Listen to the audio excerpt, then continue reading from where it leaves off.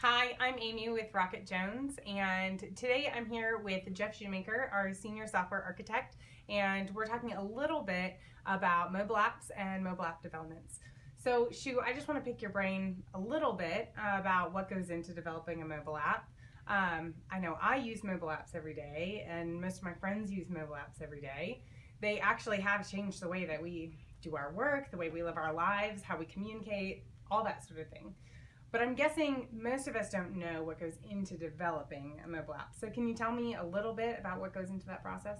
Sure. So like you said, um, most of us are used to using the actual um, application itself on our phones, and that's definitely a huge part of it. Uh, but in addition to that, a lot of times what will uh, a mobile app will want something that um, makes it more robust, and it needs to communicate with other pieces, and there's a lot of things that make up a good and compelling app. Um, so a lot of times what that looks like is you'll have the app itself, you'll have um, some type of back-end web service that is providing data um, or other information to the app, and then also you'll almost always need an API then to communicate with that um, back-end web service.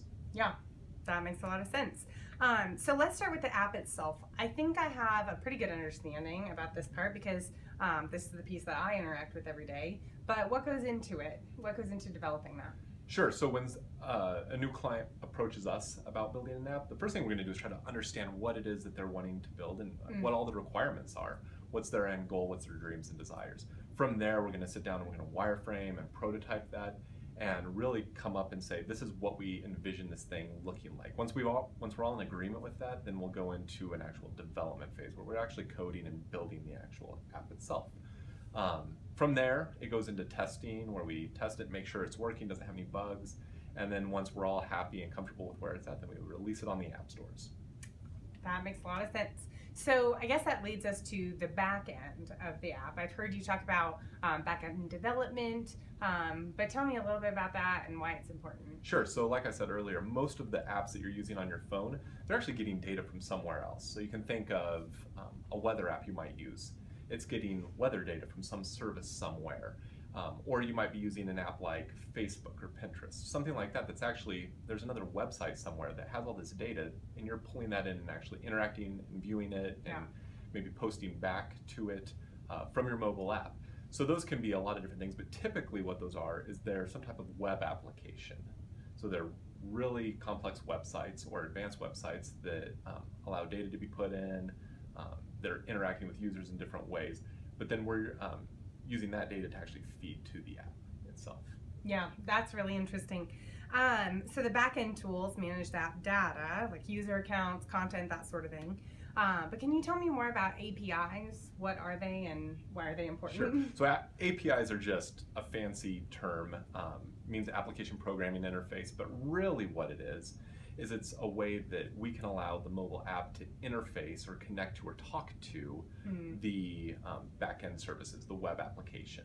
And so um, if we have a web app and we want to get that data onto our mobile app, we're going to use an API to do that. It's going to mm. handle things like security. It's going to handle actually passing data back and forth and making sure that you only access the data that you're supposed to access. Um, so it's a really critical part of building the mobile app. Um, and for a lot of people, it can be kind of complex to develop that. So you really want someone who understands how to hmm. work with APIs and knows how to build APIs. Yeah. So the API um, is basically a communication layer that communicates the data back and forth between the app and the server. Yeah, exactly. Okay, that makes a lot of sense.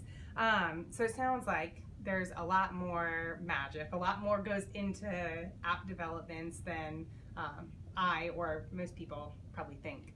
Um, so let's say I have an app that I want to develop, either to help me with my current business or maybe a business venture in and of itself. Um, where should I start, and what would be um, what's important for me to consider when choosing a team to develop this app for me? Sure. So I think the first thing is you want a team that has confidence in building um, mobile apps for starters, and also um, web apps and APIs. So you want to look at a company that can handle that whole breadth um, especially depending on what your app needs are. Some pieces might be a little bit more heavy on each of those, mm. so you're going to want to know that and talk to the developers and find out if they have expertise in those areas and what they uh, see as the big pieces of the app. What do we need? How much of a uh, backend web service will it need? How many API requests is it going to need to make? um, a developer should be able to communicate those things and help you Mm. understand that. Uh, from there, you also want to make sure that they um, have had success doing this type of thing before, that they've been around, that they'll continue to be Mm. around, um, and that they have not just a single person maybe, but a group of people who can help support the app long term and who will be there when you need them to be there. Yeah, that's good. Um, so then, lastly, um, I've heard you talk about the importance of supporting an app. Um, why is support important, and what goes into that process? Sure. Well, all apps, um, if we're doing this right, are really dynamic, living things. They don't Mm. just sit there. You know, you don't just release it and then they, you know, carry on forever. Although, in a perfect world, that would maybe be ideal.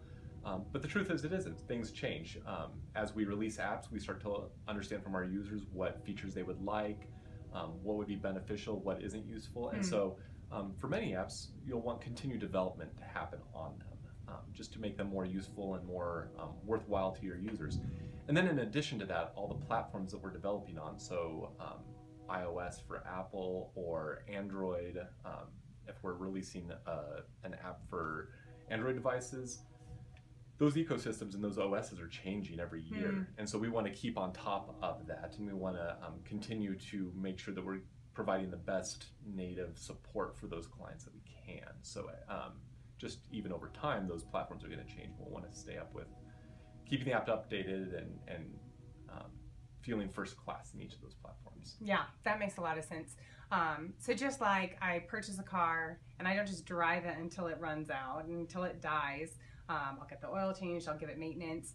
Um, a support system for a mobile app will keep me current, keep bugs out, that sort of thing, keep me up to date. Exactly. It's like uh, every three months or 3,000 miles, Yeah. you want to get your app updated.